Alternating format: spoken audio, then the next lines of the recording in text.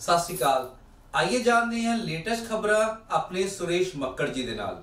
ਮੈਂ ਸੁਰੇਸ਼ ਮੱਕੜ ਤੁਹਾਡਾ ਸਾਰਿਆਂ ਦਾ ਫਰੈਂਡਸ ਟੀਵੀ ਤੇ ਨਿੱਘਾ ਨਿੱਘਾ ਸਵਾਗਤ ਕਰਦਾ ਹਾਂ। ਪਹਿਲਾਂ ਇਸ ਬੁਲਟਨ ਦੀਆਂ ਚੋਣੀਆਂ ਖਬਰਾਂ। ਆਸਟ੍ਰੇਲੀਆਈ ਪੀਐਮ ਨੇ ਕੋਵਿਡ-19 ਖਿਲਾਫ ਇਕਜੁੱਟਤਾ ਦਿਖਾਉਣ ਦੀ ਕੀਤੀ ਅਪੀਲ। ਟਰੰਪ ਨੇ ਰਾਸ਼ਟਰਪਤੀ ਅਹੁਦੇ ਲਈ ਪਾਰਟੀ ਵੱਲੋਂ ਨਾਮਜ਼ਦਗੀ ਕੀਤੀ ਸਵੀਕਾਰ। ਗੂਗਲ ਨੂੰ ਟੱਕਰ ਦੇਣ ਦੀ ਤਿਆਰੀ 'ਚ ਐਪਲ ਲਾਂਚ ਕਰੇਗਾ ਆਪਣਾ ਸਰਚ ਇੰਜਨ ਹੁਣ ਸ਼੍ਰੀ ਨਾਲ ਹੀ ਚਾਰਜ ਹੋਵੇਗਾ ਫੋਨ, ਨਹੀਂ ਪਵੇਗੀ ਬਿਜਲੀ ਦੀ ਲੋੜ। ਸਰੋਂ ਦਾ ਤੇਲ ਖਾਣਾ, ਬਣਾਉਣਾ ਤੇ ਇਲਾਵਾ ਇਹਨਾਂ ਬਿਮਾਰੀਆਂ ਤੋਂ ਵੀ ਰਾਮਬਨ ਦਾ ਇਲਾਜ। ਆਸਟ੍ਰੇਲੀਅਨ ਪੀਐਮ ਨੇ ਕੋਵਿਡ-19 ਖਿਲਾਫ ਇਕਜੁੱਟਤਾ ਦਿਖਾਉਣ ਦੀ ਕੀਤੀ ਅਪੀਲ। ਆਸਟ੍ਰੇਲੀਆ ਦੇ ਪ੍ਰਧਾਨ ਮੰਤਰੀ ਸਕਾਟ ਮੋਰਿਸਨ ਨੇ ਮਹਾਮਾਰੀ ਦੇ ਨਤੀਜੇ ਵਜੋਂ ਸਭ ਤੋਂ ਮਹੱਤਵਪੂਰਨ ਗਿਰਾਵਟ ਦੇ ਦੌਰਾਨ ਏਕਤਾ ਦਿਖਾਉਣ ਦੀ ਅਪੀਲ ਕੀਤੀ ਹੈ। ਉਹਨਾਂ ਨੇ ਕੋਵਿਡ-19 ਸੁਰੱਖਿਅਤ ਰਾਜਾਂ ਅਤੇ ਖੇਤਰਾਂ ਵਿਚਕਾਰ ਸਰਹੱਦਾਂ ਨੂੰ ਦੁਬਾਰਾ ਖੋਲ੍ਹਣ ਦੀ ਵੀ ਅਪੀਲ ਕੀਤੀ ਹੈ। ਸ਼ੁੱਕਰਵਾਰ ਨੂੰ ਇੱਕ ਭਾਸ਼ਣ ਵਿੱਚ ਉਹਨਾਂ ਨੇ ਕਿਹਾ ਕਿ ਸਾਨੂੰ ਲਾਜ਼ਮੀ ਤੌਰ ਤੇ ਇੱਕ ਕੌਮ ਵਜੋਂ ਇਕਜੁੱਟ ਹੋਣਾ ਚਾਹੀਦਾ ਹੈ ਅਤੇ ਅਟੁੱਟ ਹੋਣਾ ਚਾਹੀਦਾ ਹੈ, ਭਾਵੇਂ ਅਸੀਂ ਝਾੜੀ ਤੋਂ ਹੋਈਏ, ਭਾਵੇਂ ਸ਼ਹਿਰ ਤੋਂ ਤੇ ਭਾਵੇਂ ਅਸੀਂ ਪੱਛਮੀ ਆਸਟ੍ਰੇਲੀਆ ਤੋਂ ਤੇ ਕੁਈਨਜ਼ਲੈਂਡ ਤੋਂ ਹੋਈਏ, ਸਾਨੂੰ ਪਹਿਲਾਂ ਆਸਟ੍ਰੇਲੀਆ ਹੀ ਹੋਣਾ ਚਾਹੀਦਾ ਹੈ। ਉਹਨਾਂ ਨੇ ਅੱਗੇ ਕਿਹਾ ਅਤੇ ਇਸ ਸੰਕਟ ਮਹਾਮਾਰੀ ਨੂੰ ਸਾਨੂੰ ਪ੍ਰਾਂਤਵਾਦ ਵਿੱਚ ਪਿੱਛੇ ਹਟਣ ਲਈ ਮਜਬੂਰ ਕਰਨ ਦੀ ਇਜਾਜ਼ਤ ਨਹੀਂ ਦੇਣੀ ਚਾਹੀਦੀ। ਇਹ ਉੱਤਰ ਨਹੀਂ ਹੈ।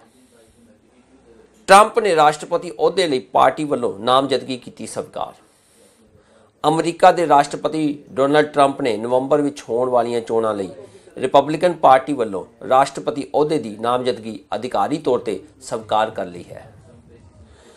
ਅਮਰੀਕਾ ਵਿੱਚ 3 ਨਵੰਬਰ ਨੂੰ ਰਾਸ਼ਟਰਪਤੀ ਅਹੁਦੇ ਲਈ ਚੋਣਾਂ ਹੋਣੀਆਂ ਹਨ।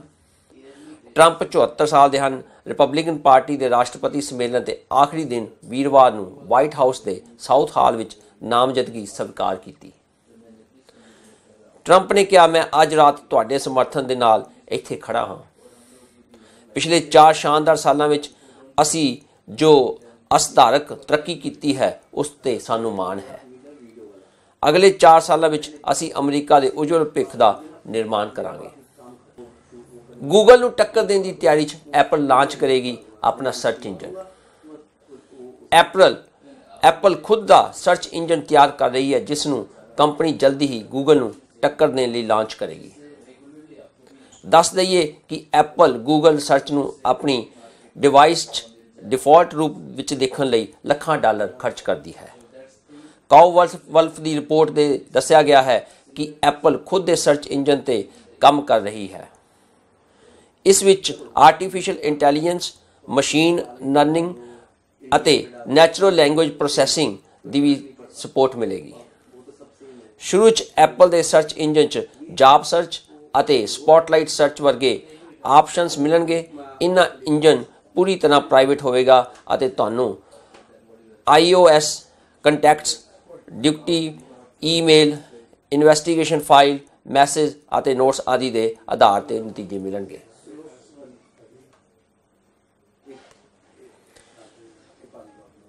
ਹੁਣ ਸਰੀਰ ਨਾਲ ਹੀ ਚਾਰਜ ਹੋਵੇਗਾ ਫੋਨ, ਨਹੀਂ ਪਵੇਗੀ ਬਿਜਲੀ ਦੀ ਲੋੜ। ਜੇਕਰ ਤੁਹਾਨੂੰ ਕਹੇ ਕਿ ਤੁਹਾਡੇ ਸਰੀਰ ਨਾਲ ਹੀ ਸਮਾਰਟਫੋਨ ਜਾਂ ਕੋਈ ਗੈਜਟ ਚਾਰਜ ਹੋ ਜਾਵੇਗਾ, ਸ਼ਾਇਦ ਤੁਹਾਨੂੰ ਇਹ ਮਜ਼ਾਕ ਲੱਗੇਗਾ। ਪਰ ਇਹ ਸੱਚ ਹੈ, ਆਉਣ ਵਾਲੇ ਸਮੇਂ 'ਚ ਇਨਸਾਨ ਆਪਣੇ ਹੀ ਸਰੀਰ ਨਾਲ ਇਲੈਕਟ੍ਰੋਨਿਕ ਡਿਵਾਈਸ ਚਾਰਜ ਕਰ ਸਕੇਗਾ। ਦਰਅਸਲ, ਰੂਸ ਦੇ ਵਿਗਿਆਨੀ ਇੱਕ ਅਜਿਹੀ ਤਕਨੀਕ ਤੇ ਕੰਮ ਕਰ ਰਹੇ ਹਨ, ਜਿਸ ਤਹਿਤ ਸਰੀਰ ਅਤੇ ਵਾਤਾਵਰਣ ਦੇ ਤਾਪਮਾਨ ਨਾਲ ਚਾਰਜ ਹੋਣ ਹੋਣ ਵਾਲੀ ਬੈਟਰੀ ਕੱਪੜਿਆਂ 'ਚ ਲੱਗੇਗੀ, ਜੋ ਫੋਨ ਚਾਰਜ ਕਰਨ 'ਚ ਸਮਰੱਥ ਹੋਵੇਗੀ। ਇਸ ਲਈ ਵਿਸ਼ੇਸ਼ ਕੱਪੜੇ ਵੀ ਬਣਨਗੇ। ਥਰਮੋਸੈਲ 0.2 ਵੋਲਟ ਦੀ ਆਉਟਪੁੱਟ ਦੇ ਸਕਣਗੇ। ਹਾਲਾਂਕਿ, ਇਸ ਲਈ ਉਸ ਨੂੰ 85 ਡਿਗਰੀ ਤੇ ਤੱਕ ਦਾ ਤਾਪਮਾਨ ਦੀ ਲੋੜ ਹੋਵੇਗੀ, ਵਿਗਿਆਨੀਆਂ ਮੁਤਾਬਕ ਭਵਿੱਖ ਵਿੱਚ ਆਉਟਪੁੱਟ ਨੂੰ ਵਧਾਇਆ ਵੀ ਜਾ ਸਕਦਾ ਹੈ। ਹੁਣ ਆਖਰੀ ਖਬਰ ਜਿਹੜੀ ਕਿ ਹਮੇਸ਼ਾ ਸਾਡੀ ਸਿਹਤ ਨਾਲ ਜੁੜੀ ਹੁੰਦੀ ਹੈ, ਸਰੋਂ ਦਾ ਤੇਲ ਖਾਣਾ ਬਣਾਉਣ ਤੋਂ ਇਲਾਵਾ ਇਹਨਾਂ ਬਿਮਾਰੀਆਂ ਲਈ ਰਾਮਬਾਨ ਇਲਾਜ। ਸਰੋਂ ਦੇ ਤੇਲ ਦੀ ਵਰਤੋਂ ਹਰ ਘਰ 'ਚ ਹੁੰਦੀ ਹੈ। ਇਸ ਤੇਲ ਵਿੱਚ ਕਈ ਗੁਣ ਹੁੰਦੇ ਹਨ, ਜੋ ਸਿਹਤ ਅਤੇ ਖੂਬਸੂਰਤੀ ਦੋਹਾਂ ਲਈ ਫਾਇਦੇਮੰਦ ਹੁੰਦੇ ਹਨ। ਜੋੜਾਂ ਦਾ ਦਰਦ ਚਾਹੇ ਸਰੋਂ ਦਾ ਤੇਲ, ਔਸ਼ਧੀ ਦੀ ਤਰ੍ਹਾਂ ਕੰਮ ਕਰਦਾ ਹੈ। ਇਸ ਨੂੰ ਸਿਹਤ ਦੇ ਹਿਸਾਬ ਨਾਲ ਕਾਫੀ ਪੌਸ਼ਟਿਕ ਮੰਨਿਆ ਗਿਆ ਹੈ।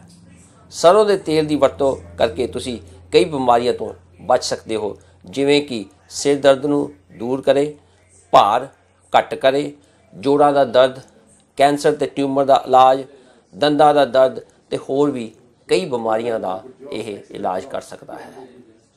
ਇਸ ਦੇ ਨਾਲ ਹੀ ਸਾਡੀਆਂ ਇਸ ਬੁਲਟਨ ਦੀਆਂ ਖਬਰਾਂ ਖਤਮ ਹੋਈਆਂ ਅਗਲੇ ਹਫ਼ਤੇ ਫਿਰ ਮਿਲਾਂਗੇ ਇਹੀ ਟਾਈਮ ਤੇ ਤਦ ਤੱਕ ਲਈ ਧੰਨਵਾਦ